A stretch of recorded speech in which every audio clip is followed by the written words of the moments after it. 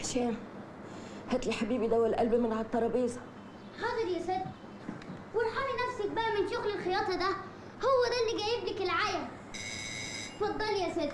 يا واد بطل غلبة وروح شوف مين على البال. حاضر. يا رب ارحمني من تعب القلب ده. صباح الخير. صباح النور. مين حضرتك؟ أنا هند. عايزة إيه؟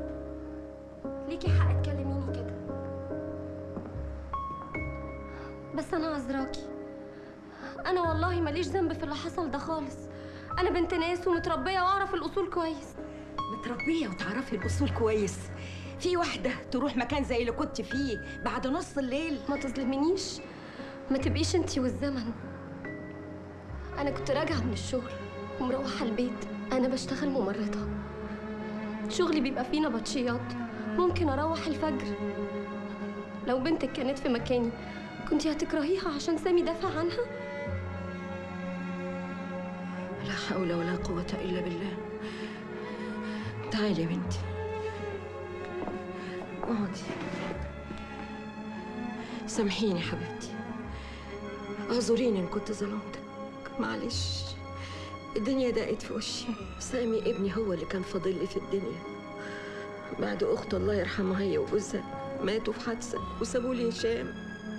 مين اللي هيربي هشام بعد كده؟ ربنا يديكي طولة العمر يا خالتي. وإن شاء الله سامي هيخرج بالسلامة بإذن الله. ربنا على الظالم يا حبيبتي.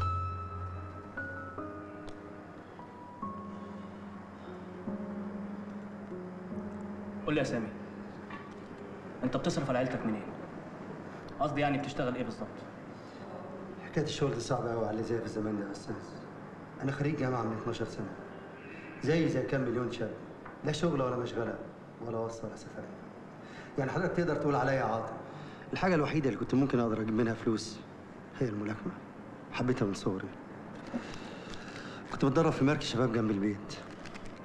لعبت كتير وكسبت كتير ولعبت على فلوس. وصل بيا الحال إني بتراهن من تحت الترابيزة. كنت بموت نفسي عشان أجيب أي فلوس تساعدني على المعيشة. بس إذا المرة دي حسبتها غلط. راهنت على الخير والجدعنه والشهامة. بس للأسف للأسف يا أستاذ خسرت. خسرت يا أستاذ. ما تقولش كده يا سامي. اوعى ابدا تندم على خير أنت عملته. أنت أنقذت بنت غلبانة. صحيح هي عاملة إيه دلوقتي؟ غريبة إنك بتسأل عليها مع إنها هي السبب في كل اللي حصل. عشان ما لهاش ذنب. دي بنت غلبانة ضحية زي زيها بالظبط. شوف يا سامي. أنا هكلمك بصراحة. أنا ما اوعدكش إنك ممكن تاخد براءة. بس اوعدك انك هعمل كل جهدي. بس أنا بريء يا أستاذ. أنا عارف ومتاكد بس في حاجة اسمها ظروف وملابسات وأدلة وسلاح عليه بصماتك وأصحاب القتيل اللي شهدوا عليك خصوصا إن مفيش حد تاني شاف الجريمه هو ده جزات إني شفت جريمة بتتم قدامي ما وقفتش ساكت. هعمل اللي أقدر عليه يا سامي. وأنا معاك للآخر إن شاء الله. ربنا ينجيه ويفك دقته ده جدع شهم وابن حلال وما يستاهلش اللي هو فيه دلوقتي. اتفضل الشاي يا ابني. متشكر يا حاج. وانت يا هند بتشتغلي ممرضة مش كده؟ لا ما خلاص. ما ده كان قبل المصيبة ما تحصل. مش فاهم. أصلهم رفضوها بعد الحادثة. قالوا عليها سيئة السمعة. حسبي الله ونعم الوكيل. كانت بتساعدني.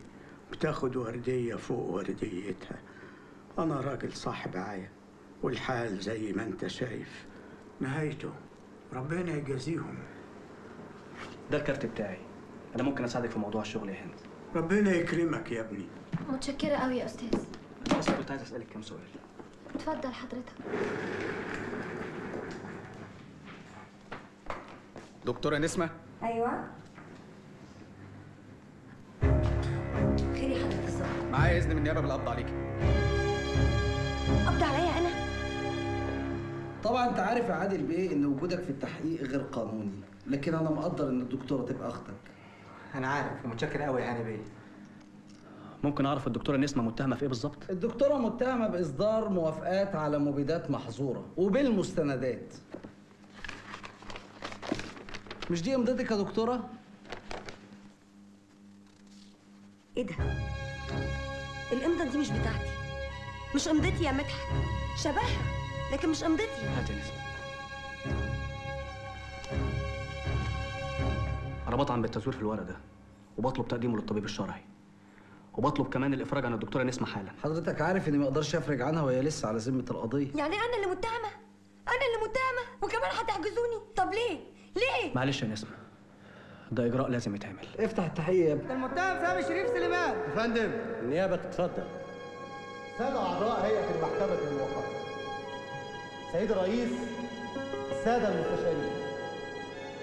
من الواضح لعدالة المحكمة مدى الجرم الذي ارتكبه المتهم في حق المجتمع. وما يحكيه المتهم عن دفاعه الشرعي عن نفسه أو عن هذه الفتاة مجرد أكاذيب فالقضية سيد الرئيس ليست كما كيفتها النيابة على أنها جريمة قتل عمد مع سبق الإصرار والترصد ولكن الوصف الصحيح لها. والمؤيد بأقوال المجني عليها هند لطفي عبد المحسن أنها ليست إلا دفاعا شرعيا عن الغير وعن النفس. ومن الثابت أيضا من أوراق القضية أن المتهم شاب عاقل البطالة سيد الرئيس ليست اتهاما يوجه إلى المتهم. البطالة واقع. فتقرير الطبيب الشرعي يثبت أنه لم تكن هناك واقعة اغتصاب أنا مش عارف سيادة القاضي النقطة دي تحسب للمتهم أم تحسب عليه. أينبغي أن تحدث الجريمة ثم نتدخل لمنعها. وأن السلاح المستخدم في جريمة القتل يحمل بصمات المتهم. بالنسبة للبصمات التي وجدت على سلاح الجريمة فهي تخص كل من المتهم والقتيل معا. وهذا يدل أنه قد دار بينهما شجارا حادا. اضطر فيه المتهم للدفاع عن نفسه. فاستقر سلاح الجريمة.